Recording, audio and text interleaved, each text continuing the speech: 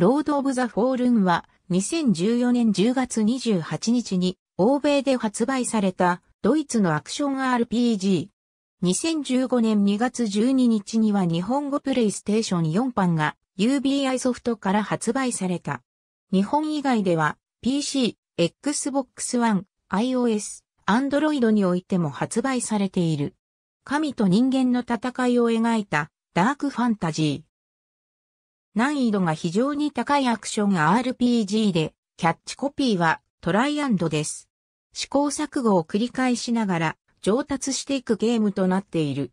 週刊ファミ通のクロスレビューでは40点満点中、合計32点でゴールド殿堂入りした。開発者はプレイステーション3で2011年に発売されたダークソウルにインスパイアされ、本作を作ったと発言している。全世界での売り上げは90万本を超え、続編の制作も予定されている。ジャーク中身やディールと人間が対立する世界。かつて邪神アディールは3人の審判者と呼ばれる人間に倒された。それから数千年の時が経ち、邪悪の神、アディールは復活した。神は魔物の軍勢、老がを地上に解き放ち、人間界への侵攻を開始した。人類の指導者であるアンタナスはこれに対し、悪には悪として犯罪人ハーキンを牢獄から解き放つ。ハーキンは人類の最後の希望として、この邪悪な魔物を操る神々を倒すため、戦いを挑む。プレイヤーキャラクターは、争い、偽り、癒しの三つの魔法タイプと、聖職者、戦士、ならず者の三つの装備タイプから選択する。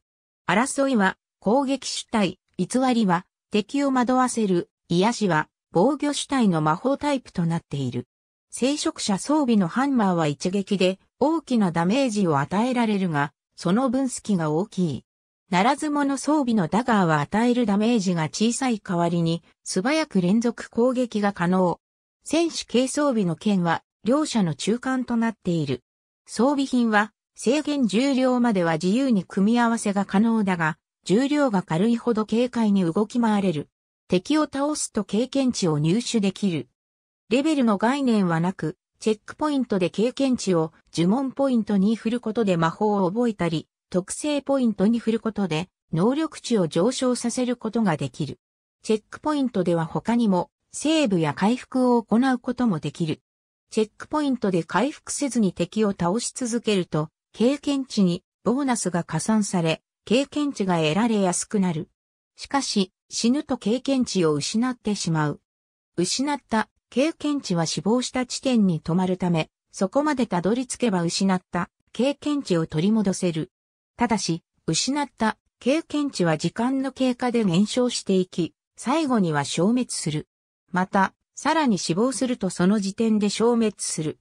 チェックポイントでこまめに回復して堅実に進めるか、リスクを承知で回復せずに経験値を大きく稼ぐかは、プレイヤーに任せられる。